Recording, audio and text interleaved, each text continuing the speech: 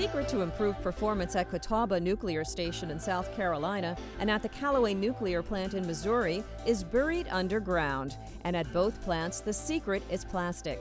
High density polyethylene, to be precise. The high density polyethylene is one of the most durable pieces of material you're going to find. We knew from looking at other industries like the petroleum industry and elsewhere that there was a lot of use made of plastic pipe and other applications. The teams at Catawba and Callaway have received a top industry award for replacing carbon steel pipes with the high density polyethylene pipes. Typically, engineers rely on performance they've had with previous, with current equipment. So if something breaks, I'm going to replace it with something in kind.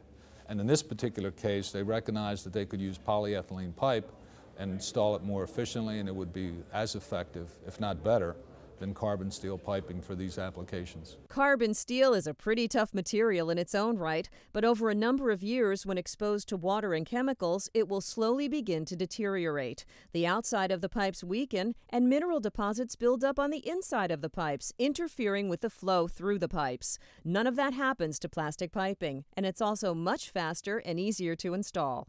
We can install up to 400 feet of plastic pipe in a, in a normal day, just working a normal shift. Uh, and that's taken like 20 foot sections of pipe and fusing uh, roughly 20 joints. Uh, if you looked at a comparable doing metal welding, you may be able to, to weld two or three metal joints in, in a day.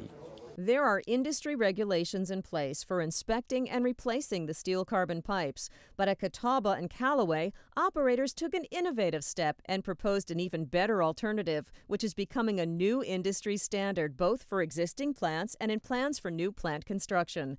Innovations like these are a key reason that nuclear power plants operate with far greater reliability than they did just 15 years ago. Today's nuclear plants have a 90% capacity factor, meaning they operate virtually around the clock all year long.